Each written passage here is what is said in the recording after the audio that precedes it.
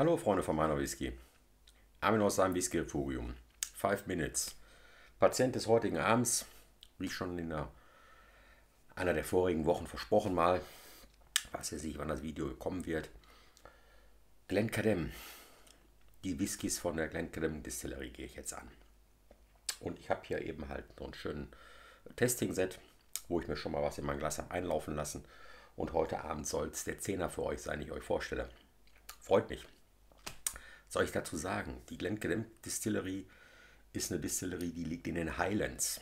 Und wenn man sich Schottland vorstellt, dann ist das äh, in der Nähe von Montrose. Das sagt dem einen oder anderen vielleicht jetzt nicht sowas. Aber eigentlich so, äh, es gibt eben halt hier St. Andrews, dann ist da glaube ich irgendwo Dundee und dann macht das nochmal so ein Zipfel und die Küste geht dann hoch bis Aberdeen. Und so irgendwie auf der Hälfte meine ich irgendwo, da ist dann äh, eben halt im Osten die Distillerie Glencairn. Keine Speyside Distillerie, wird man dem einen oder anderen vielleicht mal dazu ordnen, dafür ist es zu tief. Äh, zählt zu den Highlands. So, ich habe die in der Vergangenheit äh, eben halt auch schon gehabt.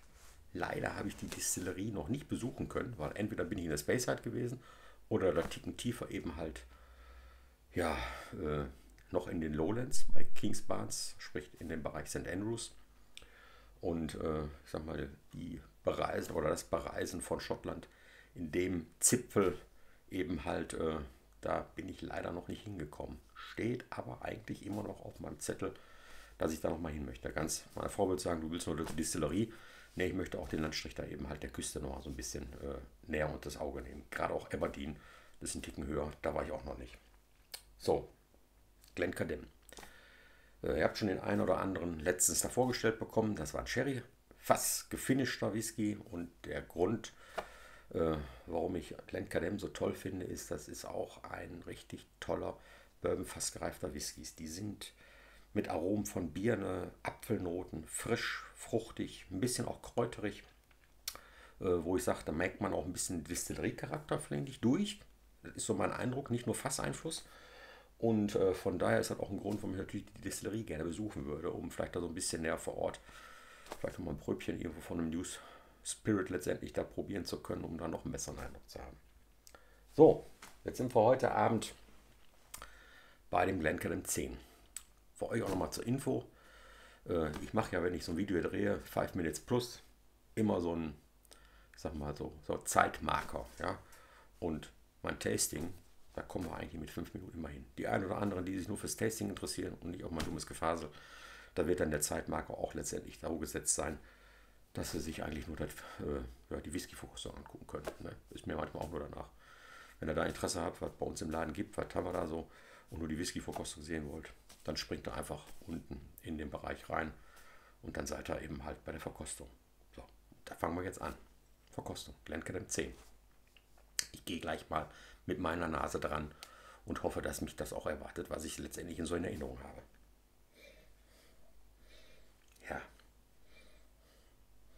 das sind wirklich so diese frischen Apfel, aber auch Birnennoten. Ne? Nicht nur so ein reiner Apfel.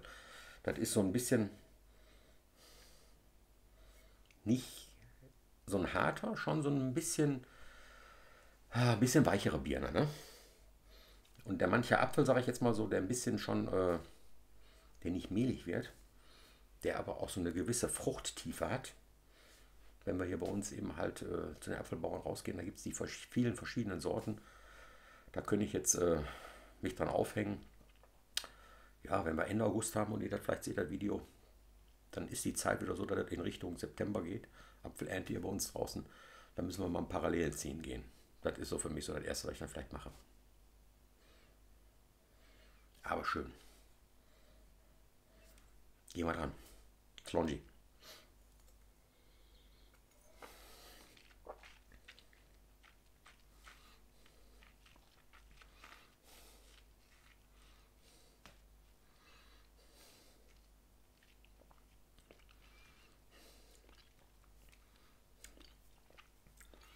Hm. Auch hier wieder ist wieder dieser Turnover, wo wirklich speichellos angeregt wird. Schleimhäute werden trocken. Und dann geht es rum zu dieser Cremigkeit. Butterig, keksige Noten. ich sage jetzt mal so Schottbrettgeschichten, bisschen wirklich mehr ins zuckrige, äh, gesüßte Teichwaren. Der ein oder andere, habe ich jetzt schon gesagt ne? gibt tolle eben halt italienische äh, Kekse, Kaffeekekse letztendlich so, die so ein bisschen weicher sind. Müssen wir gar nicht in den schottischen Raum gehen. Erinnere mich sofort daran. Hm. Mit der Nase wieder so eine schöne frische Note. Da ist nicht im Mund, ist es trocken. Das ist das, was ich von dem Whisky auch kenne. Der zieht trotz 46 Volumenprozent, nicht kühlfiltriert. Der beim fast gereifter, da ist jetzt eben halt das Destillat heller. Einem schon schon im Mund leer, sage ich jetzt mal quasi, dass man Lust hat, auch wieder dran zu gehen. Ja? Also das ist vielleicht ein bisschen das Gefährliche bei dem Whisky hier. Man hat das Bedürfnis, nochmal nachzulegen. Ne? Oder man geht hin und nimmt einen Schluck Wasser. So, und da war eben halt jetzt hier auch das ein oder andere haben. Ich habe jetzt hier auch so ein paar neue Pipetten, Glaspipetten. Teufel ich auch nochmal das eine oder andere Tröpfchen Wasser hier dran. Mal gucken, was das kann. Und damit wir nicht so viel haben, nehme ich jetzt mal Schubwasser.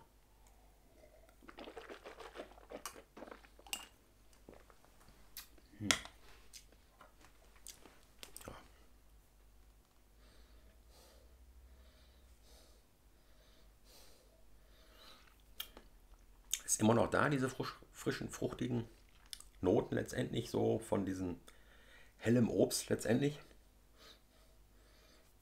Könnte jetzt aber meinen, dass auch so ein bisschen mehr so eine Vanillenote, Vanille-Zitrusnote, die man immer halt auch von, von dem einen oder anderen Keks erkennt, mehr durchkommt.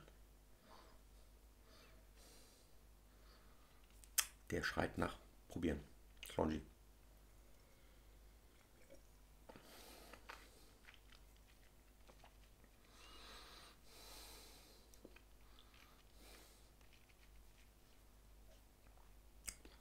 Jetzt mit Wasser. War nur drei Tropfen, die ich da reingegeben habe. Ist ein bisschen milder. Es wird nicht ganz so trocken im Mund. Aber schöne, jetzt würde ich sagen, eher schon, das sind so butterige Keksnoten. Da bin ich wieder beim Shortbread. Toll. Ich mag ihn. Äh, ich denke, die große Flasche, die werde ich wahrscheinlich planen für das Open Bottle Evening. Da habe ich Spaß dran, den als Einsteiger letztendlich zu nehmen. Einen waschechten äh, Single Malt letztendlich aus den Highlands. Und äh, kann dem einen oder anderen schon wieder zu viel sein, wenn wir mit 46% starten. Aber da müssen diejenigen dann durch. Und wer vorher Spaß hat, kommt in den Laden. Ihr seht, kleines Sempelbülleken ist offen. Da könnt ihr dann probieren. Ich sage dann bis zu einem oder anderen Wochenende. Slonji!